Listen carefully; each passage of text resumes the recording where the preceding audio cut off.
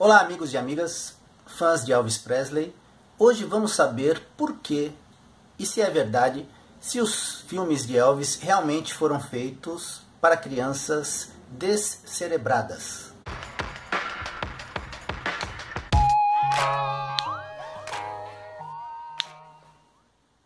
Olá, amigos e amigas, fãs de Elvis Presley. Hoje o programa vai em cima de uma crítica que eu li há muito, muito tempo atrás. Porém, eu nunca me esqueci dessa crítica porque ela falou muito intimamente, é, tocou muito o meu íntimo, porque eu fui uma criança adoradora dos filmes de Elvis Presley. E essa crítica justamente vai de encontro à criança, porque diz o seguinte: os filmes de Elvis Presley foram feitos para crianças descerebradas. Bom, para iniciar o nosso papo, eu acho, tenho certeza, que o crítico ele tem uma visão muito restrita, porque ele está enxergando apenas o óbvio. Qual seria o óbvio? Para qualquer pessoa que assista a um filme de Elvis Presley displicentemente, e ainda mais se julgando de capacidades intelectuais prestimosas, vai descartar o filme como uma porcaria. O próprio Elvis muitas vezes se indignava de fazer tais filmes. Agora eu convido o meu amigo, a minha amiga, a voltar lá atrás. Você consegue se lembrar de como você via o mundo quando você tinha 5 anos de idade? Para mim é muito, muito fácil, porque assim como eu me lembro nitidamente uma vez quando a minha mãe me disse: O meu filho nunca vai crescer.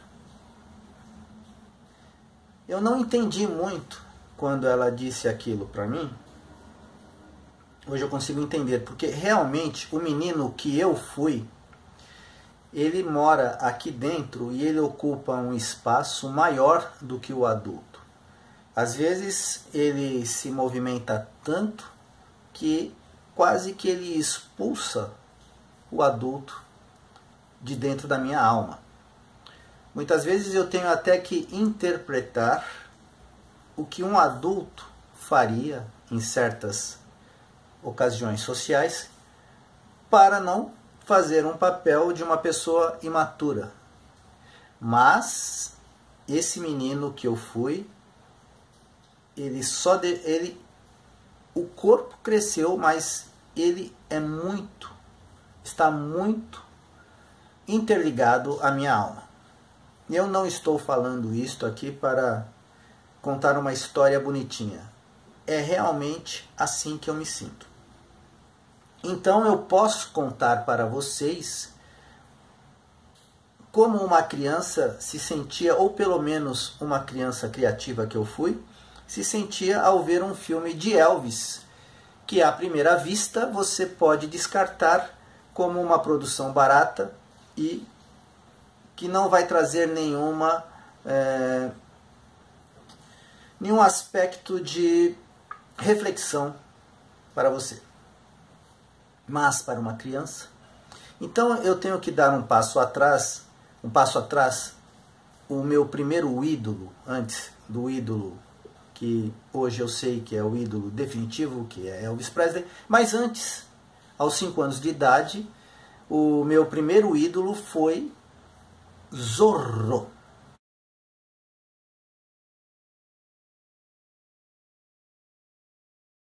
Eu acho que Zorro guarda algumas semelhanças com Elvis, é, com os filmes de Elvis, porque o teor moral dos episódios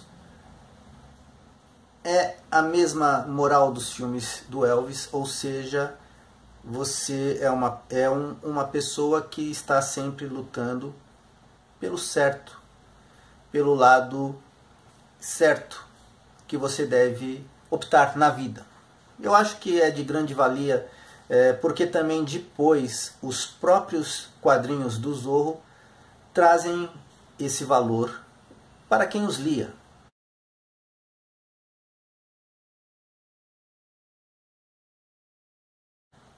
Mas, com 5 anos de idade, o que eu ia saber, por exemplo, sobre um enredo mesmo da série Zorro, que são enredos de fácil compreensão. Mas aos 5 anos de idade, para mim, o que mais chamava a atenção seria quando Dom Diego se transformava no Zorro, capa espada, duelava e deixava o seu Z, aquela marca registrada do Zorro.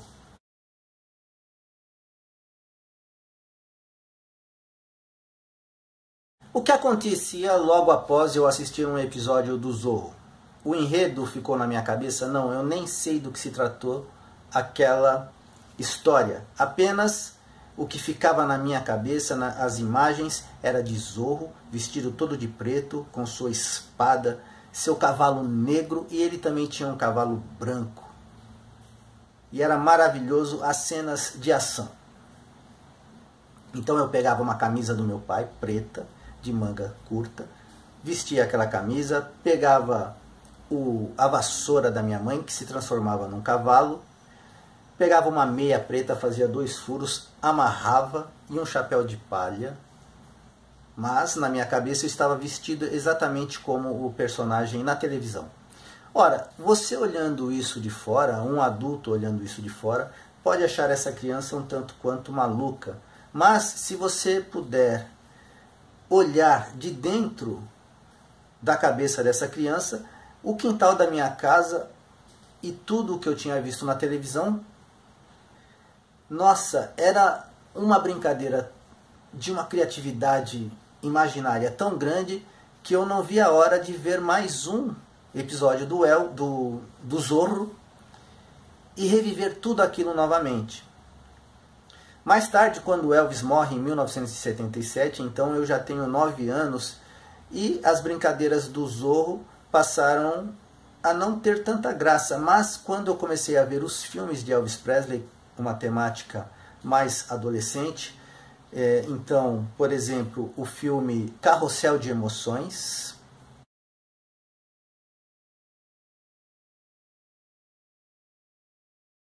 Depois de eu ver esse filme, eu pegava meu triciclo e conseguia reviver toda aquela alegria das brincadeiras de Zorro, mas agora com Elvis. Mais uma vez, o enredo pouco importava para mim. O ponto alto, culminante para mim do filme, assim como antes era quando Dom Diego se vestia de Zorro, agora era quando Elvis Presley pegava seu violão e começava a cantar. Não me importa, porque eu, mal, eu não entendia nada do que ele cantava. O ritmo, a figura de Elvis, era isso. E isso fazia com que a minha imaginação voasse, flutuasse, e inclusive até aos 11 anos, os primeiros namoricos de escola, tudo isso você trazia daqueles filmes do Elvis aquele charme do Elvis e ele sempre envolto com situações amorosas, né? com mulheres, com música, com crianças, e ele as, é, era um, um competidor na maioria dos seus filmes, ou pilotando carros, ou lanchas. É... Então, se você observar além dessa crítica barata, de você olhar e falar: ah, é um filme horrível para crianças descerebradas.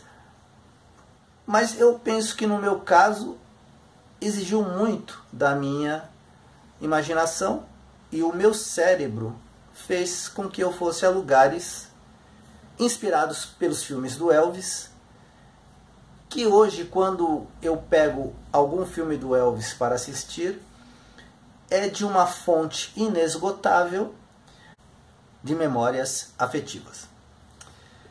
Então eu penso que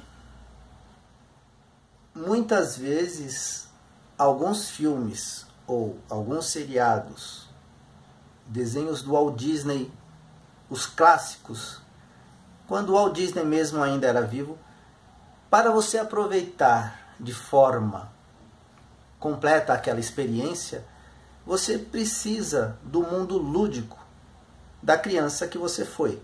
Se você tem uma memória tão boa quanto a minha, você não vai se esquecer das primeiras vezes em que você teve contato com coisas que foram maravilhosas, que se você se deixar perder pelo chato e tedioso adulto que mora junto com você, então você vai começar a achar que as coisas são chatas.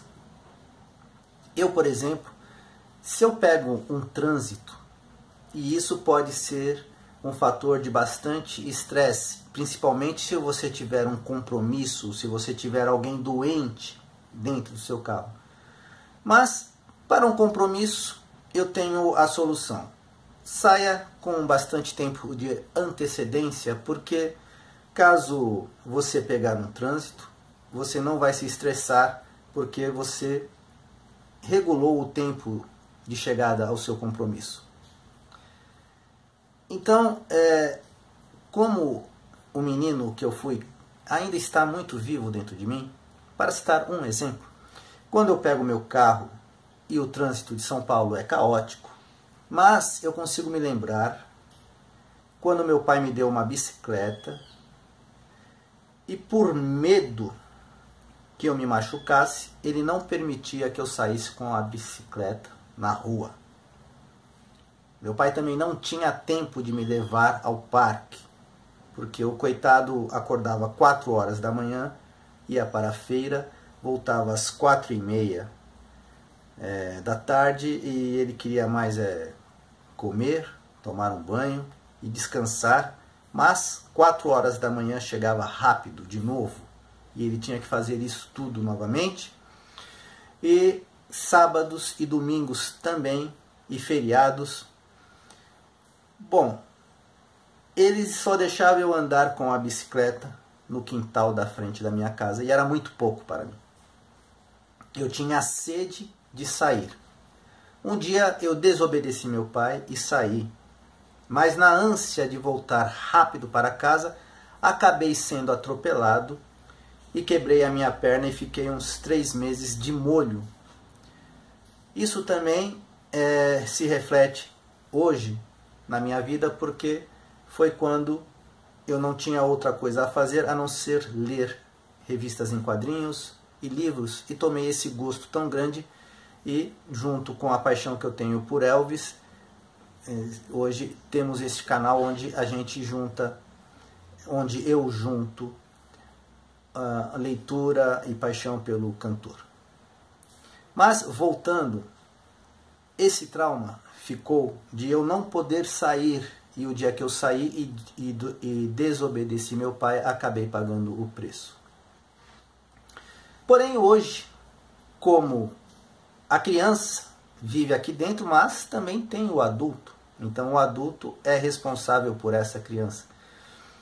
Então, hoje eu, eu saio com o meu carro, eu saio agora, não tem meu pai, infelizmente, meu pai já morreu há muitos anos, e não tem ele. De certa forma, ele está aqui na minha cabeça, sempre me orientando, porque as lições que ele me deu, algumas é, ardentes, é, elas permanecem, então é, você sempre procura ponderar a, as decisões da sua vida às vezes você erra, mas você procura.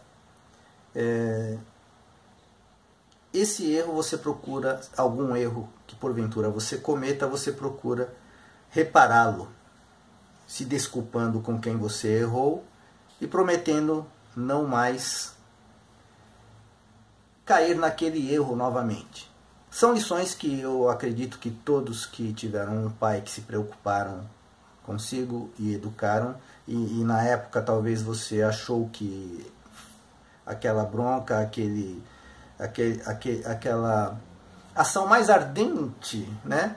É, tivesse sido um pouco fora do, do, do, do contexto, mas serviu para que ele você domasse os seus instintos. Mas, ok, voltando ao trânsito Hoje, quando eu pego meu carro e eu estou no trânsito e se aquilo me aborrece, imediatamente eu me lembro de quando eu tinha que circular apenas num quintalzinho. Então, eu aproveito a experiência de guiar livremente, porque quando você gosta de andar de bicicleta ou de carro ou de moto, né, você quer expandir, né? Você não quer ficar em um ambiente ali, você quer expandir, você quer ir de um ponto ao outro. Óbvio, com bastante responsabilidade, é, sabendo que existem outras pessoas que estão ocupando o mesmo espaço público, tomando cuidado para não ferir ninguém, mas é, eu trago essa, essa consciência de quando você é criança e, e você deseja fazer muitas coisas e você vê um mundo tão diferente de se você deixar que o adulto transforme tudo num tédio. Não deixe. Olhe sempre para as coisas como a criança que está dentro de você olhava. Por exemplo, todos eu acho que vão lembrar da experiência de entrar num ônibus pela primeira vez, aquele carro enorme. Eu lembro disso e foi uma emoção muito grande para mim. Por isso que eu sempre me abasteço assim de coisas que eu tinha quando era criança, porque eu tenho que abastecer essa criança que está dentro de mim. E com certeza os filmes de Elvis Presley, os seriados do Zorro, são, fazem uma grande parte disso. É, pessoal, eu fico por aqui hoje nesta reflexão, um programa reflexivo, e dizendo que não, eu não concordo. Os filmes de Elvis não eram feitos e não foram feitos para crianças e adultos descerebrados. São feitos para pessoas que conseguem sonhar, conseguem com a sua imaginação ir a lugares que quem só consegue ver o filme como foi feito não consegue. Então, pelo contrário, esses filmes são feitos para pessoas que têm imaginação, que conseguem, através do charme é, da beleza das canções, de como elas foram colocadas, os lugares, porque também tem isso. Às vezes a pessoa ela já viajou tanto e ela está entediada. E uma criança como eu era, que o meu pai, como eu disse, não tinha condições nem tempo de me levar a lugar algum. Então o filme de Elvis Presley, as praias, Seresteiro de Acapulco, quando ele pula daquele penhasco. Bom, fizeram a alegria da minha infância e eu acredito que de muitas pessoas também. Pessoal, eu fico por aqui. Espero ver vocês de volta aqui comigo no meu próximo vídeo. Não me abandonem. Elvis Forever.